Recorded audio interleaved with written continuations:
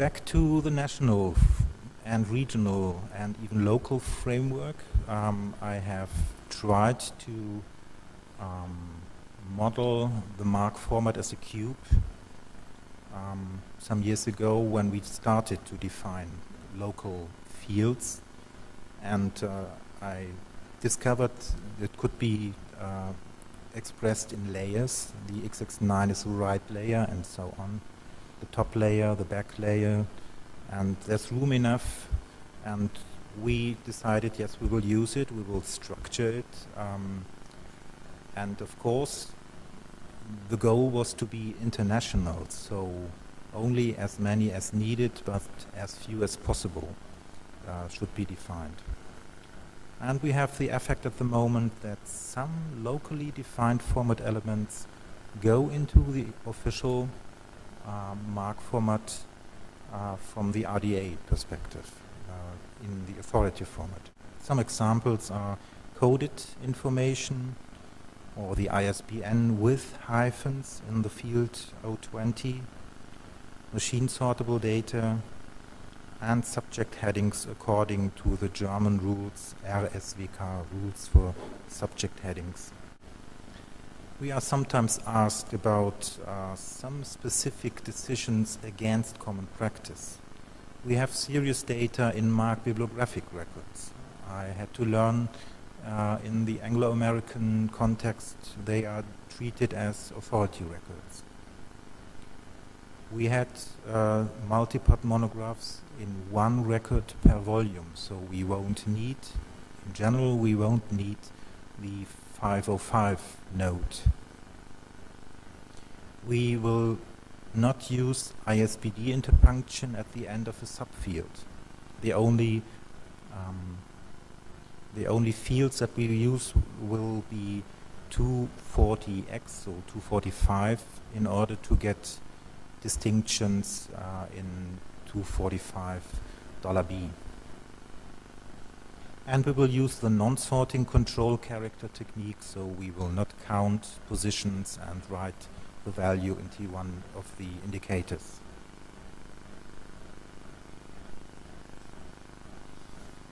Documentation, here's just a link to the website that exists at the moment.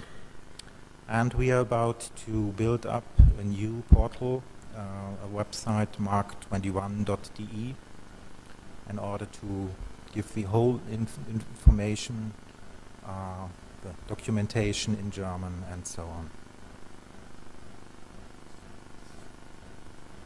Back to the international level there are critical voices about MARC, beyond MARC or MARC must die, or just recently, who needs MARC, question mark. I have to admit sometimes I'm getting nervous about them. Um, it's a moving target and it's a target um, that is in discussion.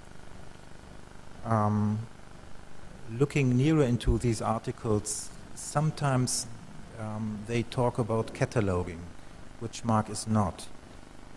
And sometimes they call, they, they talk about just the shell structures, about the ISO structure, which MARC as well partly, but that's not uh, the main part of, of Mark.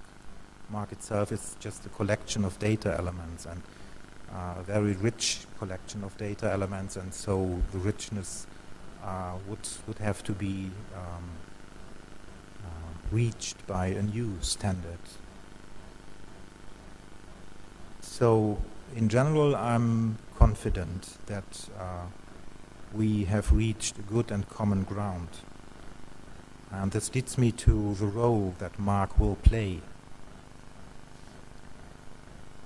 maybe MARC is not the future. At least, well, let's say in 20 years. Um, but uh, this is a picture derived from talks to Beate Rusch. It might be a good, an excellent diving board. MARC has proved to be stable and reliable. And on the other hand, to be flexible enough to step on onto and then go beyond.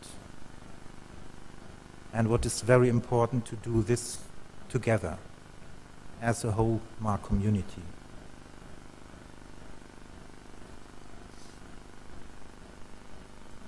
How powerful is MARC? A colleague of mine, Denise Kiefer, has made uh, investigations. What are the countries that MARC is used in? At least as an exchange format, but not only as an exchange format. And this is the result, and I think it's very impressive. We can see uh, MARC spanning the world.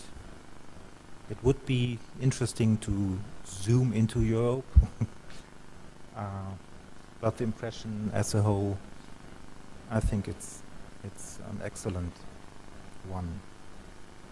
Again, um, stressing, underlining the togetherness of MARC. Some next steps, um, RDA, I won't get into detail. Mark Stewart will talk about this today. It's the agenda of the RDA MARC Working Group. And some more next steps. This page is intentionally left blank. I don't know at the moment what will be the next steps. Maybe I have some ideas. But what I'm sure of is uh, we will be with the community. We will be in the game for this.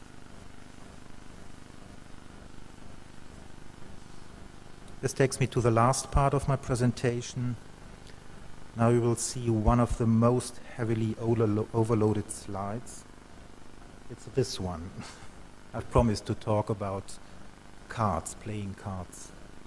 These are all kings of hearts, taken from very different decks.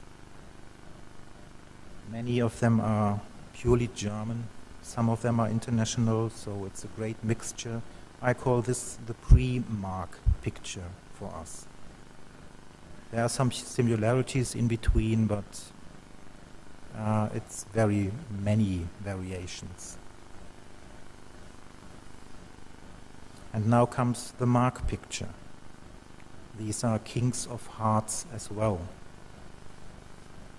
But all of these are of the international pattern that a poker player or bridge or blackjack player knows. They are clearly all of the same kind. They are very similar to each other, and you can nevertheless see minimal differences. And just in between, in the middle, there's this King of Heart from the Austrian version of the international pattern, and this is our solution so far. It is a very clear solution, the international pattern, we are MARC compliant with some minor improvements, or you may call them differences. The face has color, the mustache is clearly visible, for example. I have to admit, this King of Hearts doesn't have a right hand. Maybe he doesn't need it.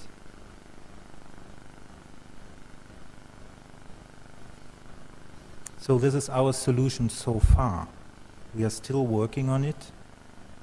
And during implementations, it has to be proven if, it, it's, if it's appropriate for all our needs. I close my presentation with one last thought. Of course, it does not make sense to play cards only with kings of hearts. So I can imagine to continue the excellent cooperation and together form, in terms of poker, an unbeatable royal flush of hearts. Thank you very much.